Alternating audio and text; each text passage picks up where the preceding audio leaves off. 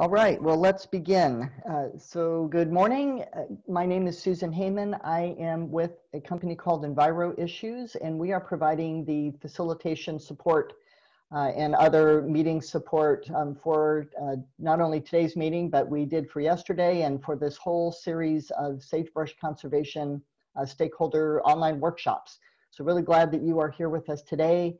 Um, today's focus is on case studies uh, examples of successful collaborative approaches. And before I say much more about that, um, except for pointing out, please, at the bottom of your screen, you see a phone number there uh, for Liz Mack. And Liz is, uh, works with me at Enviro Issues, and she is providing um, technical hosting support today. So if you have any technical issues during um, the presentation today, please write down that phone number just in case, 210 269 5524, and you can call or text Liz and she can give you a hand.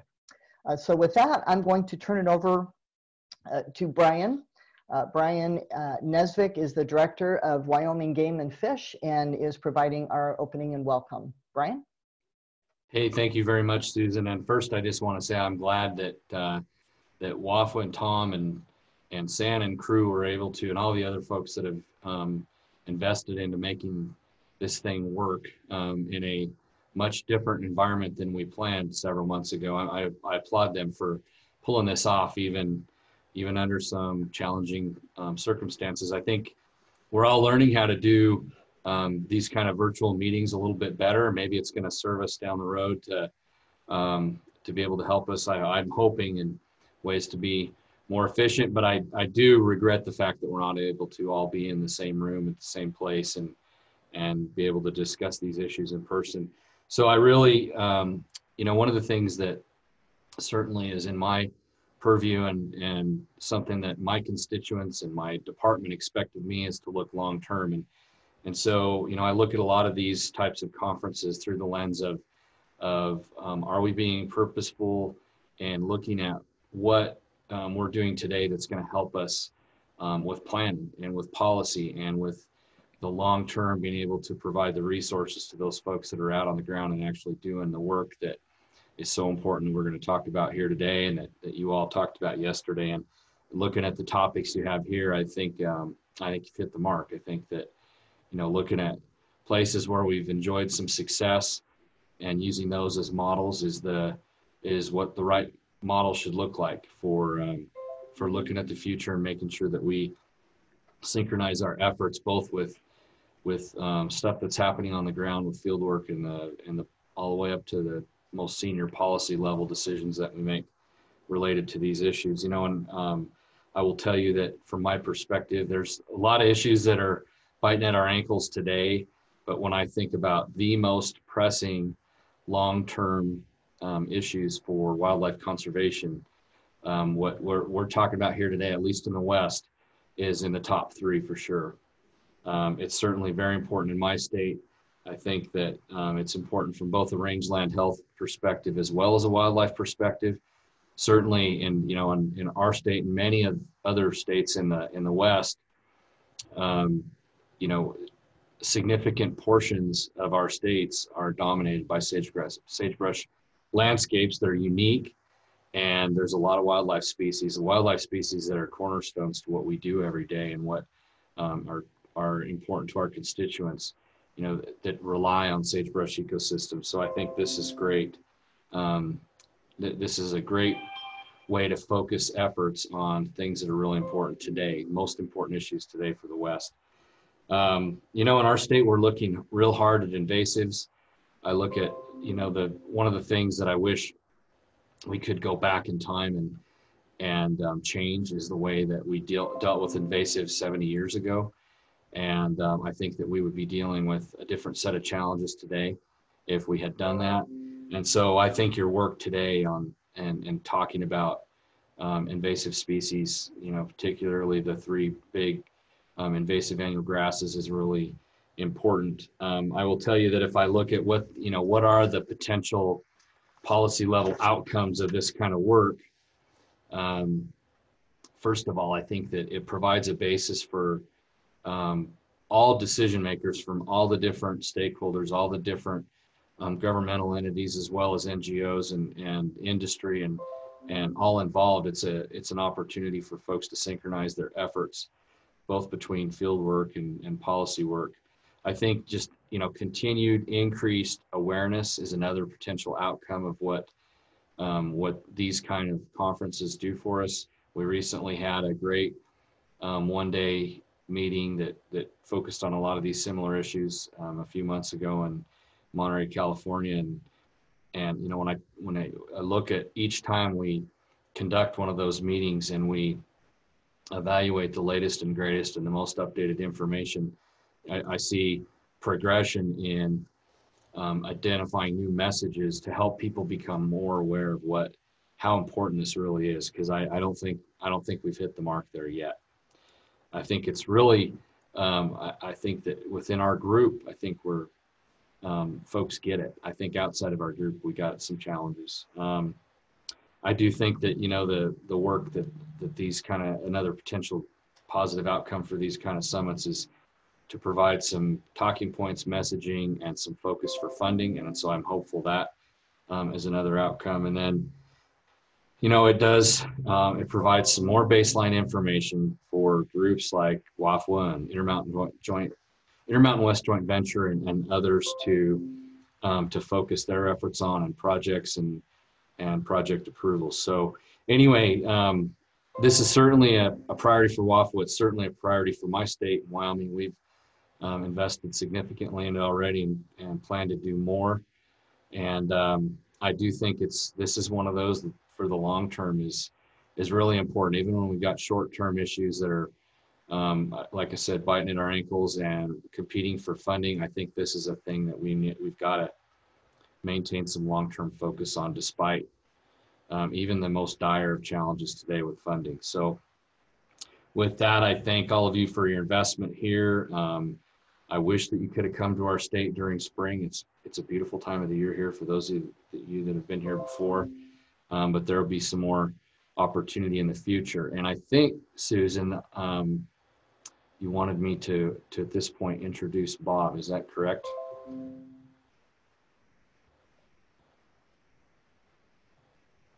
Actually, if you could hold that introduction for just a minute, Brian, I'll circle back to you. Okay. Okay, fantastic. Thank you. Really appreciate your opening remarks. And uh, again, we'll, we will circle back to you here in just a minute. Um, so again, uh, welcome everyone. Uh, Susan Heyman here. And I'd like to introduce just a couple other uh, folks that are going to be helping me today uh, with this and also with this overall online workshop. Uh, also with Enviro Issues, I mentioned Liz Mack. And again, Liz is our technical host and co-facilitator, so please uh, reach out to her if you have any technical issues.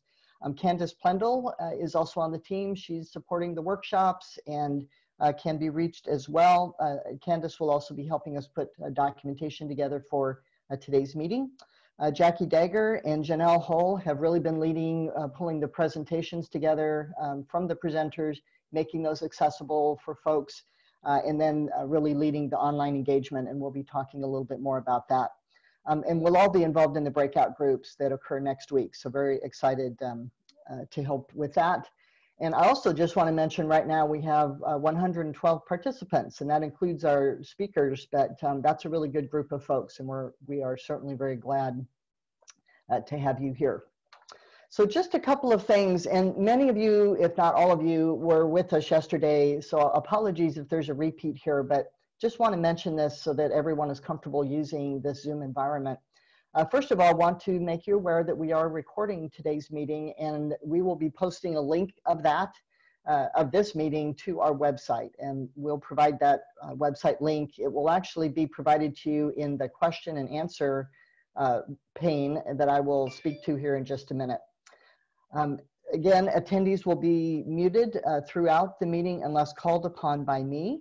Um, and we're going to ask that uh, attendees, when we do ask for any questions, if you could please raise your hand and let me show you where that is if you're not familiar. At the bottom of the screen, and your screen should look like mine right now, there's a raise hand. If you click on that, uh, we'll get an indication, a little electronic hand will pop up and then we'll call on you uh, and we will unmute you so that you're able to ask your question. If you would rather submit a question in writing, uh, you're welcome to do that using this uh, little Q&A uh, panel at the bottom. And when you click that, uh, this kind of a, a, box will open up. You can just type in your question and you can send that to us anonymously or it will be identified by however you signed in today. Um, one thing about, uh, you're certainly welcome to submit these anonymously, but if we do have your name, what's handy is that if we get pressed for time and we're not able to get to all the questions, we can definitely circle back with you or have the speaker circle back with you. So whatever you prefer to do, um, but this is another option. Uh, you do control your own sound. So if if some of the speakers are too quiet or um, we do have a video today we'll be showing and once we run that video that might actually be a little bit loud so please just maintain whatever control you need and have your sound set as comfortably as possible. Um, so for today, again, reminder, if you have any technical difficulties, please reach out to Liz. Um, we did have several people contact us yesterday. Uh, it was very helpful, I think, for them to be able to reach Liz, and we were able to take care of those issues very quickly. So if you do have any, don't hesitate to reach out. Um, you see on the screen here, this is the link we have to our sagebrush conservation workshop.participate.online. That's our online engagement site. We will post that link in the Q&A panel so that you're able to actually get to that on screen. So our agenda, and I won't read it to you here, but um, I do want to just point out a couple of things. You all should have this agenda. Um, one thing that's kind of important to note is that we will take a five minute pause or a five minute break at the top of the hour. Um, we have found that's just very helpful to give people a chance to step away from their computer screens for a minute, um, refill their coffee, get a glass of water, whatever it is they need, and then we'll get back going again. I will give you a little bit of a heads up uh, when we're ready to begin. So if you have your sound still up, you'll be able to hear us uh, before we actually get started.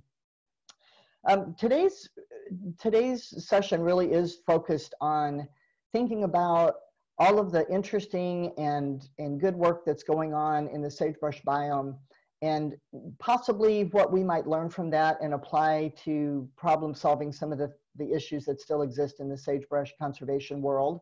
Um, so really invite you to be thinking about that. That's really our purpose today. Um, and on this agenda, the, the presenters here are all you know, they are the people that are leading or passionate about these case studies that they are presenting. So we really appreciate their time. Uh, we appreciate their expertise and look forward to hearing from them. They have some very engaging slides. The presentations will last generally between 15 and possibly to 20 minutes. And then we, we do hope to have five minutes or so for questions at the end of those, but we will hold questions until the end. And I think that is all I need to say about uh, about all of those details. So with that, I would like to turn this over to Tom Remington. Uh, Tom is uh, our, our host with the Western Association of Fish and Wildlife Agencies. And Tom, would you like to uh, take, take the helm here? Yeah, thank you, Susan. I just wanted to spend a few minutes um, sort of introducing these case studies and, and how we got here and how they fit in. The case studies originated with the increasing capacity for conservation, sagebrush conservation work group, which Ali Duvall has been heading up for actually a couple of years now. And the take home message from yesterday, uh, I think, was we have a lot of work to do. Um, and we need more capacity for conservation in virtually every dimension, whether it's funding, uh, boots on the ground, uh, communication, networking, etc. Um, and so we as, as a committee, we looked at um, so where are examples across the West of how people are increasing capacity at local scales. And as a community of conservationists, we all face similar challenges across the biome, but our approaches differ substantially and we can learn from each other. So the idea here is to present some of these um, novel collaborative approaches um, they say there's no new ideas, but the reality is um, there are repackaging of old ones if there aren't new ones. But good ideas and good programs, implementing good ideas, turning them into good programs, and good groups are, are surprisingly rare, and we tend to view them as obvious and inevitable if and after they succeed. Um, for instance, of course, the Utah Watershed Restoration Initiative is funding, funding locally submitted restoration proposals. Uh, they always have. Well, somebody had that idea once and actually turned it into a program. And you think, of course, the Sage Grouse Initiative is a key component of the Farm Bill. And of course, it works on public and private lands. Um, but that wasn't inevitable. Somebody had that idea and somebody turned it into reality. So we want, one of the things I want to uh, emphasize is look at these case studies for what they are and what they do, but think about what they represent. Um, it's really, um, they're all examples in di very different ways of local control of local problems um, and collaboration uh, ac across um, a lot of different scales and, and NGOs and, and, ranchers and industry and, and agencies and, and government is really supporting those efforts in most cases as opposed to making them happen. And I think that's a, a place we need to get to because government is not going to be able to do this alone. Um, so th these specific programs may be plug and play. You may be able to take the Rangeland Fire Protection Association model and, and plug it into your state, but the collaborative approach to that problem and the local control and local ownership and the idea of um, divest the state actually sharing executive authority and responsibility. The firefighting is a state and federal responsibility. It's not a rancher responsibility. But in that case, they shared that executive power and authority with stakeholders. Uh, you'll hear about the Wyoming Sage Grouse implementation team and, and various facets of that, including the um, lo local groups um, that are restored, the Douglas Core Area Restoration Team.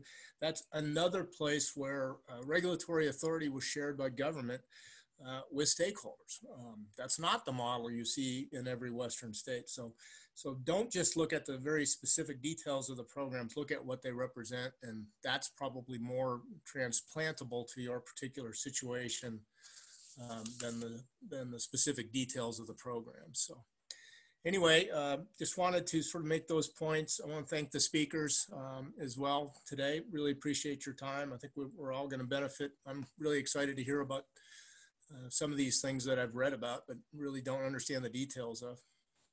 So back to you, Susan. Thanks. All right. Thanks very much, Tom. Uh, so with that, uh, let's go ahead and go back to Brian. And Brian, if you would uh, please introduce our first speaker.